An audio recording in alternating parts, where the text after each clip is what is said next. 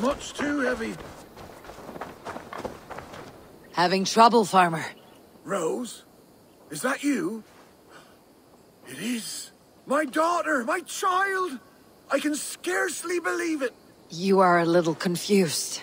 I've been longing to speak to you again. I have never spoken to you before. Rose, Rose, do not jest with your father and his failing eyes. Very well.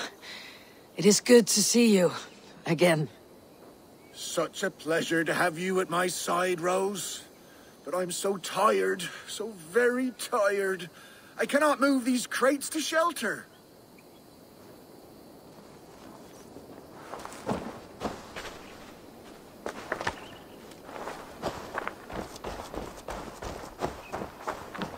Yes, Rose, right there.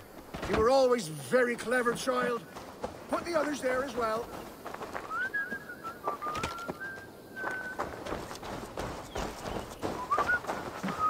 Rose, you've grown up to be quite strong.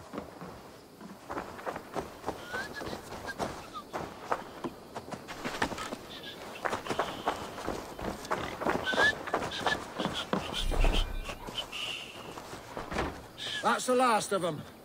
Come join me, Rose. It's been ages since we had a chat.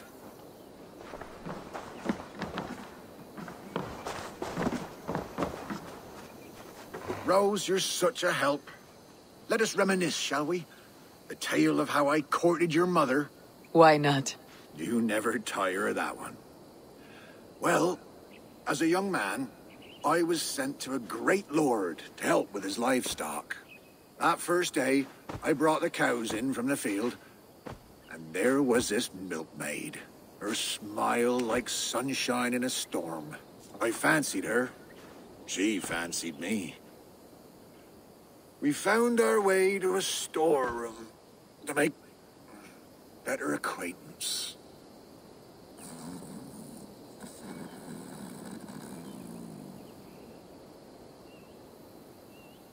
And then?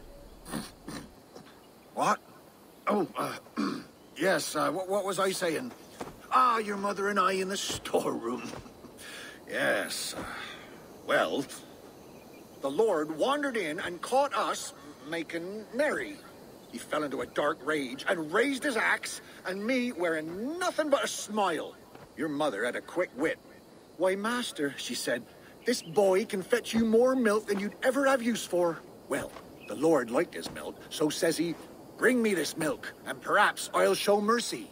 We threw in our smocks and ran for the cow pen, milked the cows in a frenzy, and carried back two buckets. The Lord spooned off some cream to taste. Satisfied, he had his servant set the milk in the shade and declared more. In a thrice, master, your mother said, and we ran outside. How will we get more? I asked. The cows are spent.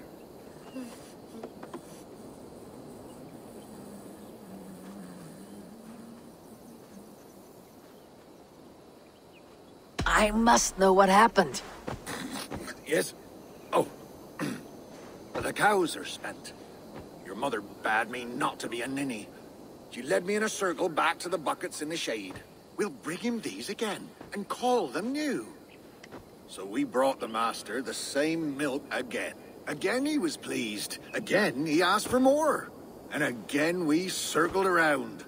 Soon the master had ten buckets by his count. So he gave us his blessing. We ran for the stables, stole a horse, and never looked back. Not long after you were born. The pinkest little babe a father could hope for. We named you Rose. After the cow. That reminds me. Your mother's ring. She wanted you to have it. Here.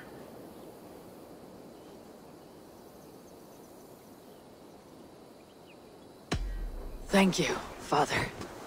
It will remind me of Mother, always.